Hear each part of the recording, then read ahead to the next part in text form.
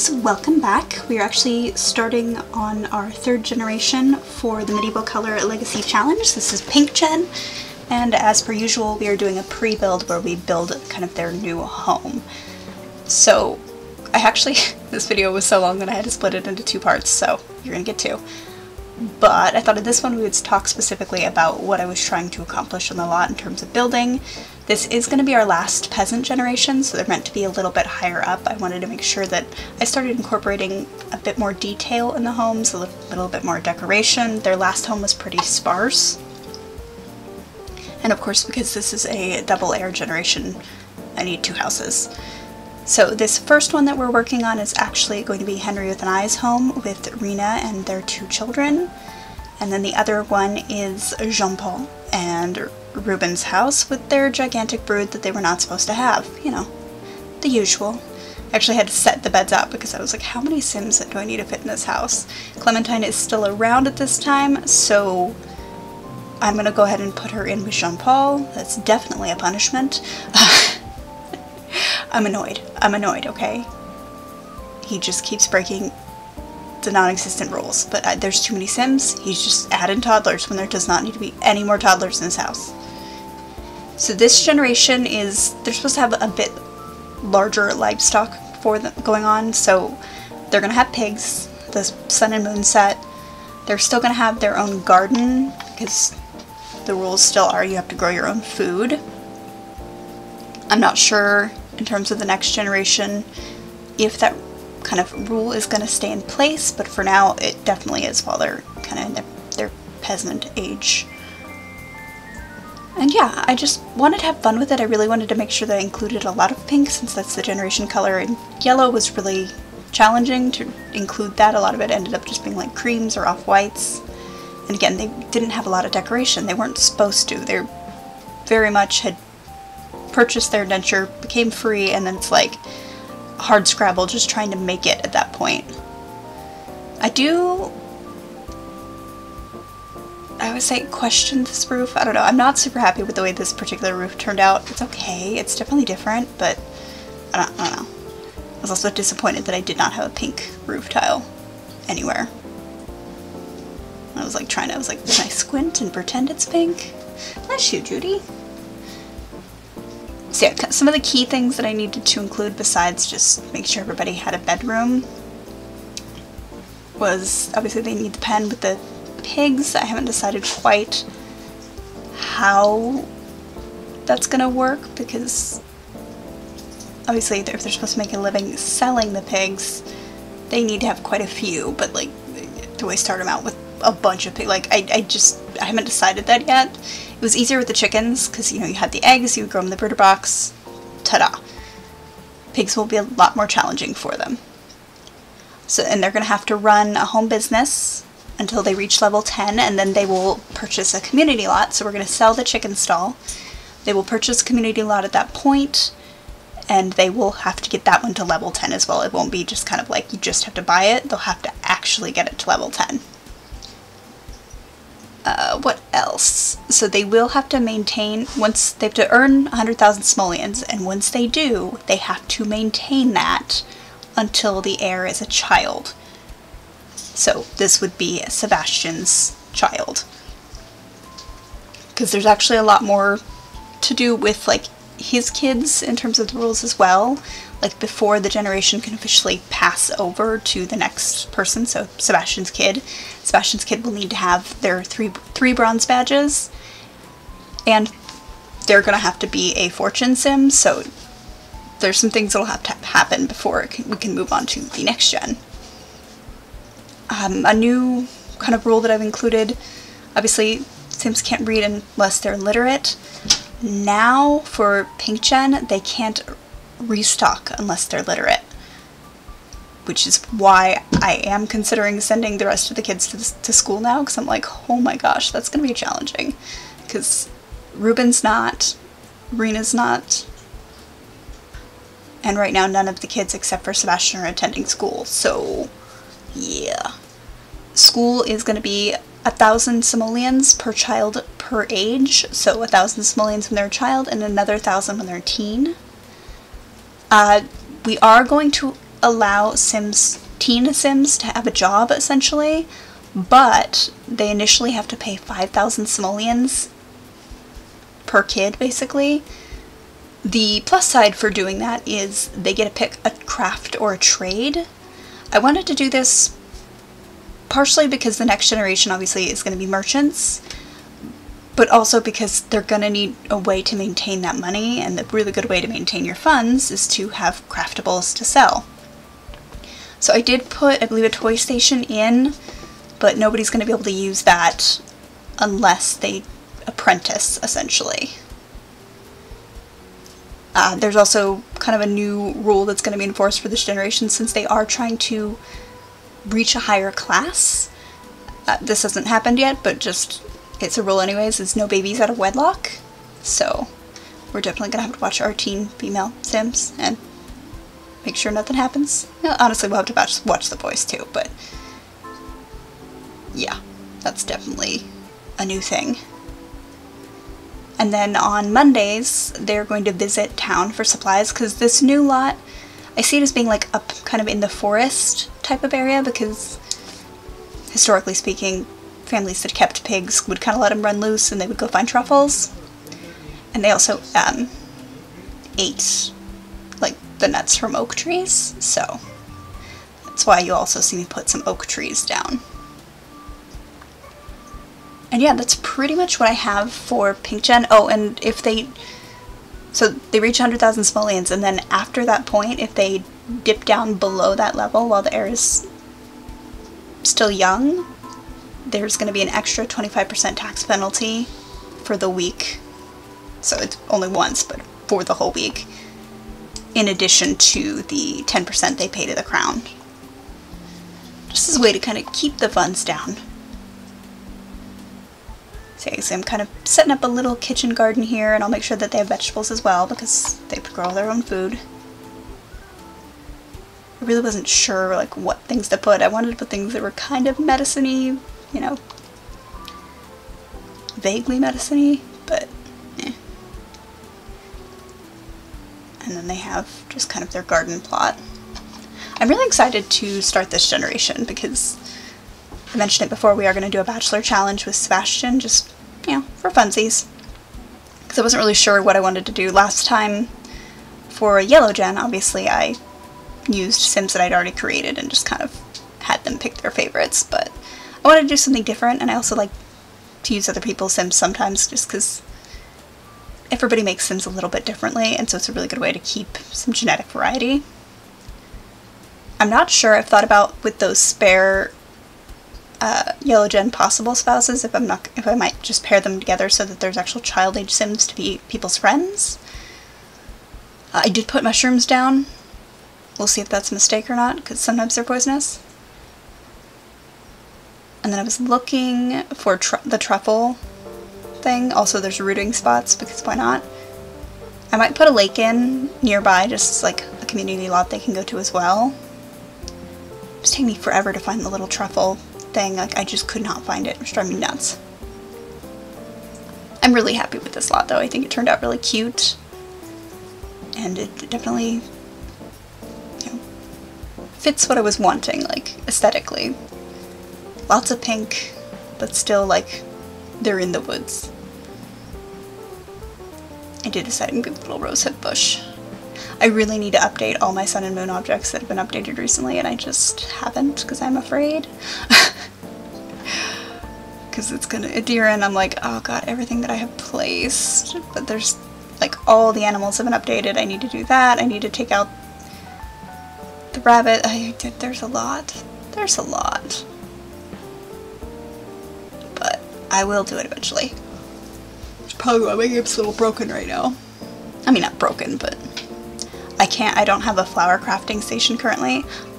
I don't know why. Uh, some people gave me some advice on to see why it just suddenly is hidden, because I don't have a hider. But someone said it's the GUID could be an issue with custom content, so I might have to try to fix that. But technically I don't have to do it for a whole nother round, because there's only one family that really needs it I went ahead and put these ferns down just because I wanted it to be more temperate forest. And then um, some rose bushes, just eh.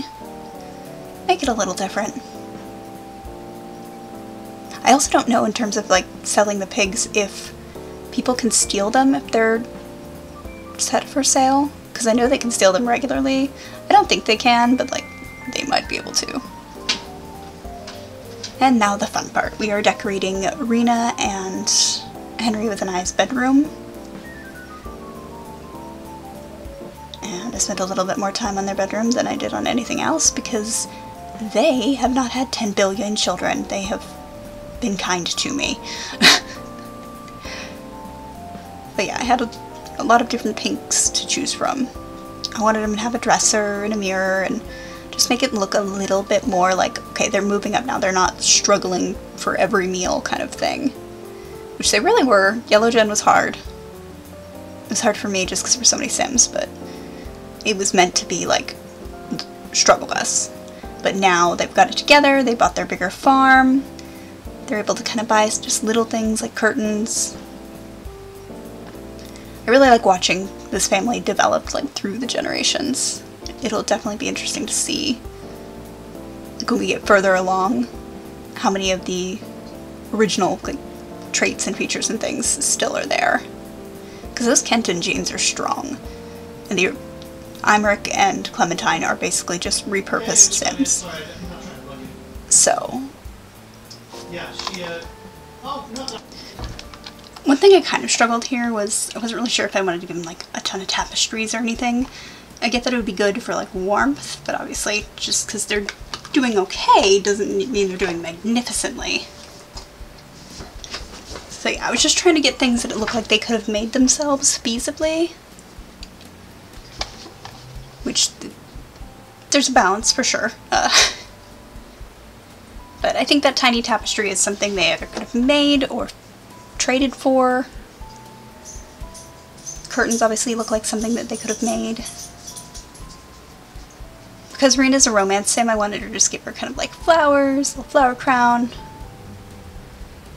This dresser drives me nuts because I wanted to put a mirror there and there's not any mirrors that fit, so then I wanted to put that there, but it kept going on top of the dresser, so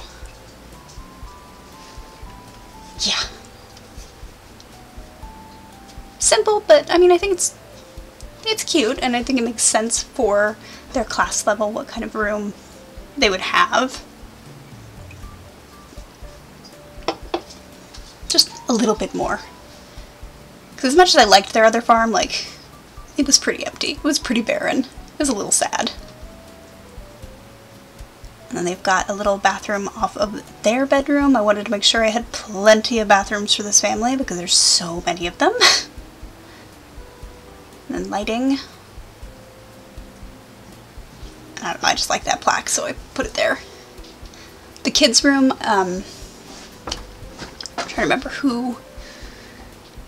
It's Sebastien and. It's not Emmeline. Victorine. God, I couldn't remember her name for the life of me. So they're going to share a room up here.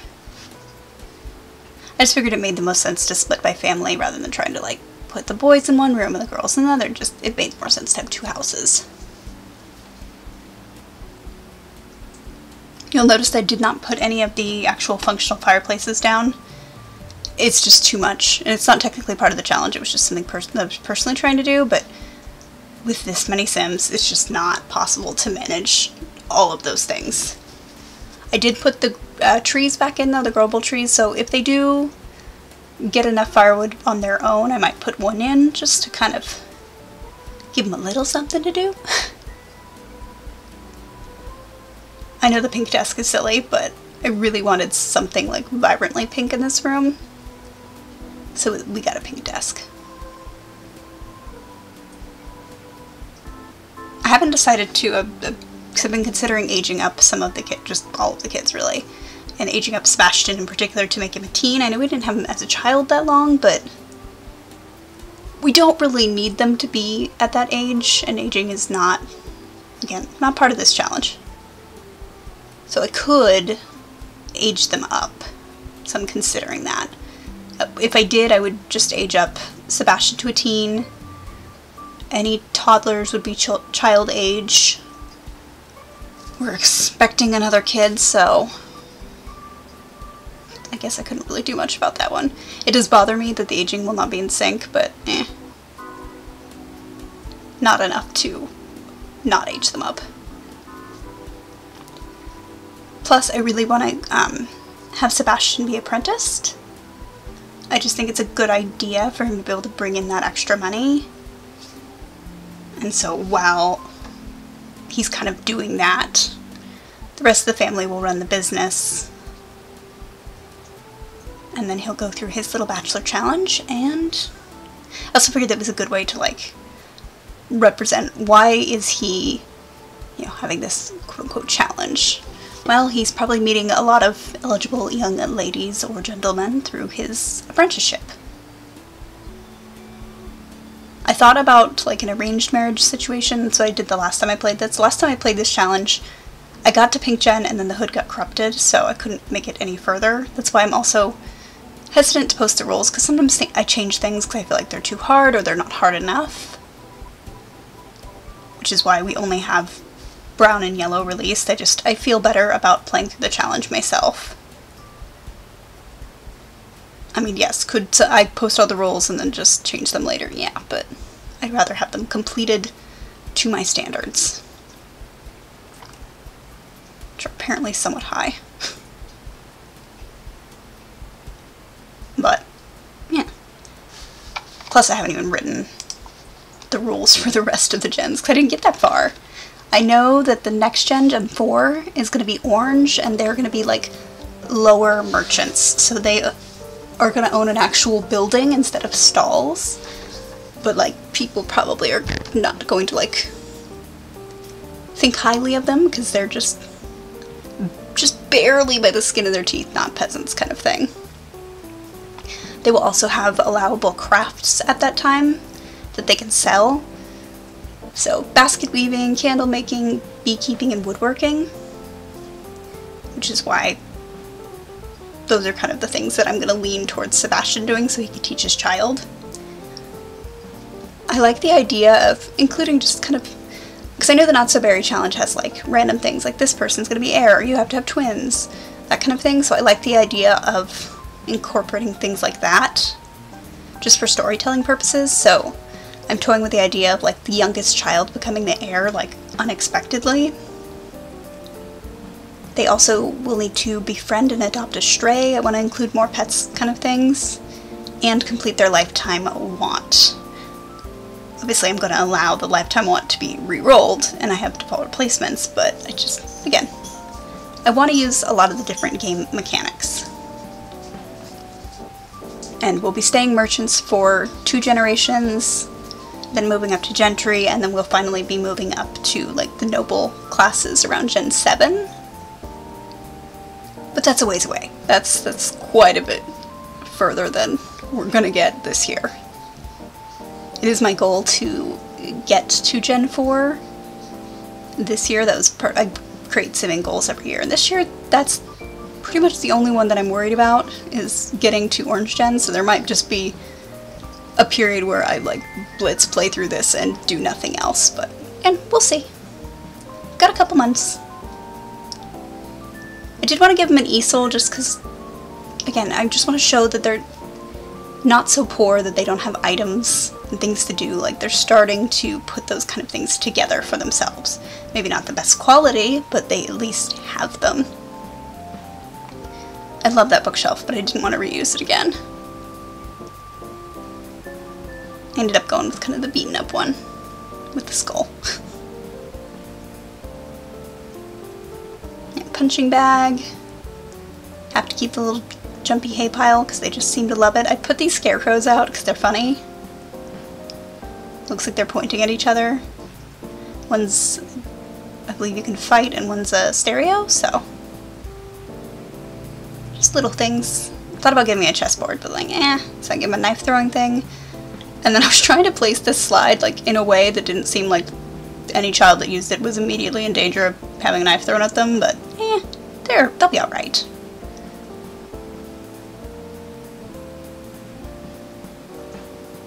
I was trying to just see, is there any other little item that I can just put here? I do want to make them, going to make their own clothes when I go to buy them, so that's why I put that little yarn ball there. Yeah, and we're just about done with this part of the house. Part two is going to consist of the other side of the house, which includes Clementine's room, and also finishing decorating up the outside, so adding the pigs and things like that. I actually really like these converted rugs. I think from Eco Lifestyle. They're bright, but like not obnoxious to the point where I think that they don't belong, and the other ones from Cottage Living. I do wish I had a couple more torn up ones. I think that that one is the only recolor that's kind of torn up a little bit. But yeah, just give them some little handmade looking rugs. Filling the space.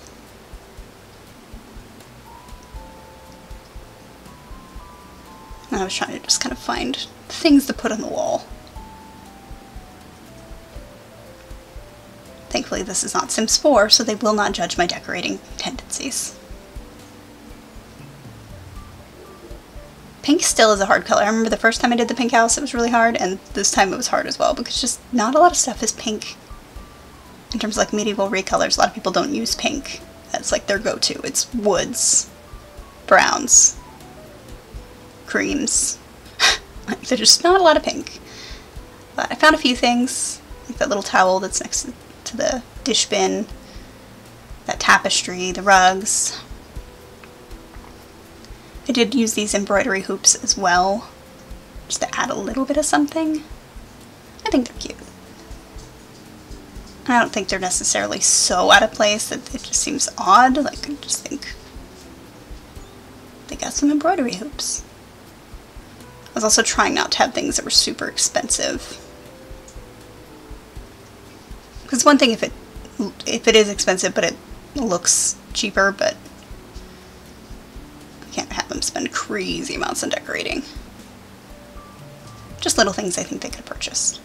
So yeah, we're pretty much done now. So thank you guys so much for joining me. If you did like this video, definitely leave a like. Um, if you have any comments, thoughts, opinions, suggestions, definitely leave those too, and I will see you in the next one.